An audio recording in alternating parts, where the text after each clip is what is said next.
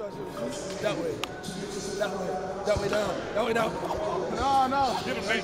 I can't play serious. If I play serious, I don't really have good games. When I have fun, I mean, it's a child's game at the end of the day. I need to have fun. Tie game, going into overtime, I will be smiling and dancing, and I'm happy. It's just playing the child's game and giving them my dream. Me personally, I know how to get serious without being serious in the face and getting mad and all that. That's just not who I am. I need to laugh and joke. If I can't laugh and joke, I don't feel comfortable where I'm at. I think it keeps everybody in a good mood, and uh, like, sometimes it gets a little too playful, but most of the time it stays light and everybody gets to laugh and joke around and just brings us closer together.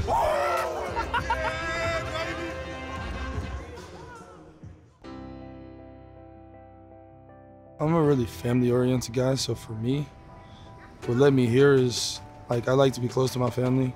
Um, I'm really close with my grandma and my immediate family and my household. Just felt like the right fit. When I was younger, my grandma came down with dementia. Honestly, I didn't know what it meant at the time because I was I was a little younger. I was around like 13, 14, and um, it was just like, well, she doesn't remember me, and that kind of hurt. I was at my grandma's house every day, so it was just like she can't remember me, and it's it's hard to process that. It kind of pains me a little bit to talk about her sometimes, but in reality, like she's the reason I get up in the morning. We do have conversation what your why, what your why is, and I know his family's important to him, his younger brothers, obviously his mom, dad, and all that. I mean, that's something I can hang on to and, and, and pull out and every now and then to, to use, you know, just to remind him what his why is. To and punch and pivot. You know what I mean? So we'll, we'll see that on tape. Other than that, we'll look at the rest and we'll, we'll clean it up, all right? Who's got One it? percent better every day. Get him, Luke. Arsenal on one. One. His biological dad, obviously, was the head basketball coach down, I think, Grand Valley State. He said, You have my permission to coach him as hard as you need to coach him. He said, in fact, he needs that. My stepdad is also a coach, but I kind of kept them separate. Like I didn't want my mom or dad or stepdad coaching me. You get to look at stuff from a different perspective, other than like how all the other players see it. You start seeing it from a coach's perspective pretty early on. Hey, the players know room better than us. And I'm listening to Maliq tell me, hey, coach, let me get to him first. You know, or when I'm coming to get him, he said, coach, I got it, I got it. You know, so that's showing his growth, but it's also showing that he's paying attention. But what is also telling me is all those times where I was saying something that he may not liked, he was still listening.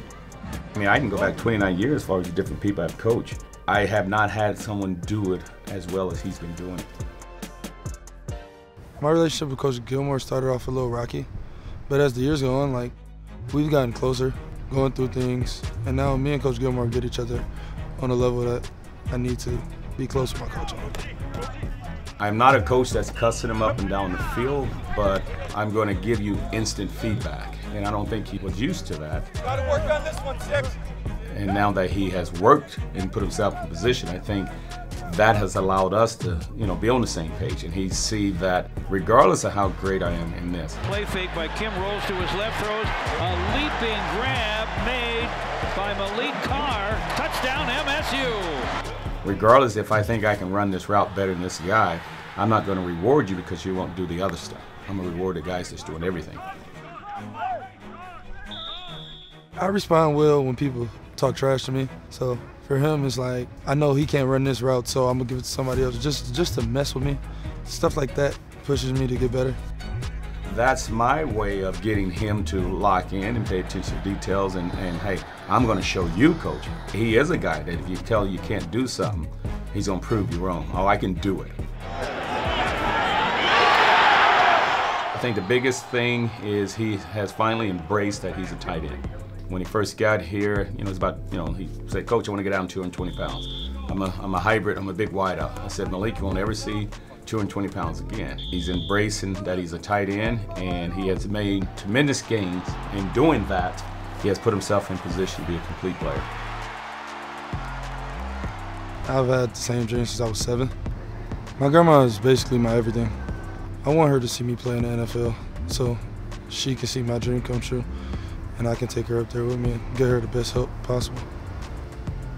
Like if I'm having a bad day, first thing I do is think about my grandma, go look in the mirror, just ask what my grandma would want me to do. So, yeah, she's everything to me.